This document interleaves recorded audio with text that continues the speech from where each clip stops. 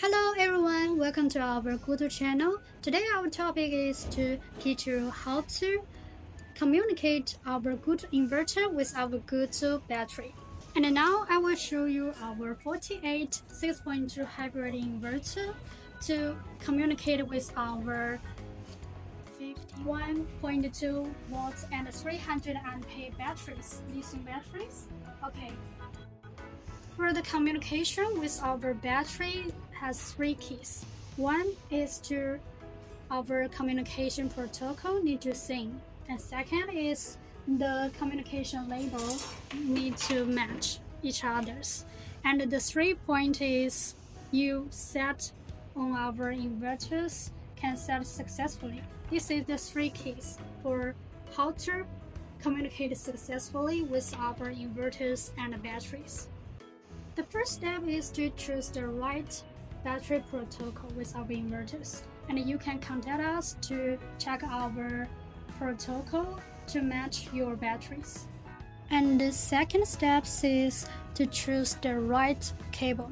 And now I can show you this is our communication cable. This part is for the solar inverters. Our inverters only need the three pins. One is for A, the pin 2 is for B, and Pin 8 is for GND. So this is our solar inverters.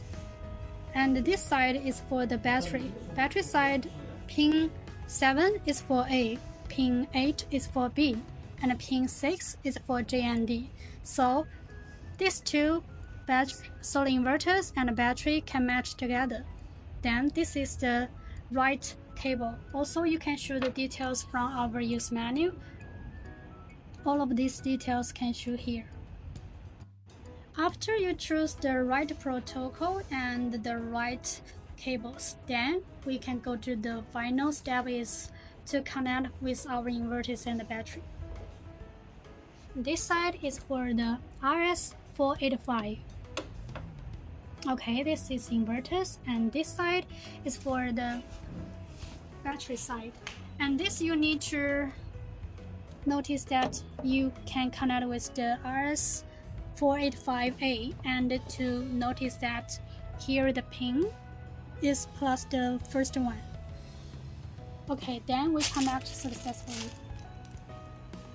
So now you have connected all your batteries and also for your communication cables. Now we can go to our the setting. For the setting, you can to follow our use manual from the page 11 to see the details.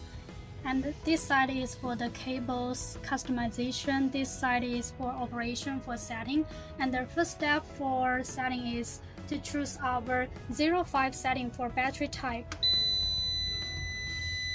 Print longer time, okay, go to 5.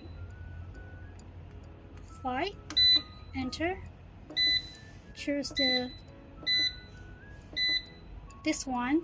LIB 485 this is the first step.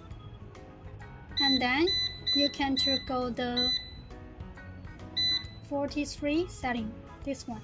As this our batteries protocol is the pattern. So this one you can choose the second PACE this one right? Okay, then enter. So our setting is done. Come back to home page. Okay, you can wait.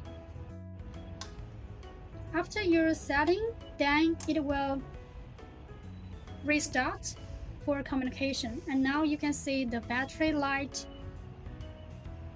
the red. And now didn't show any fault code.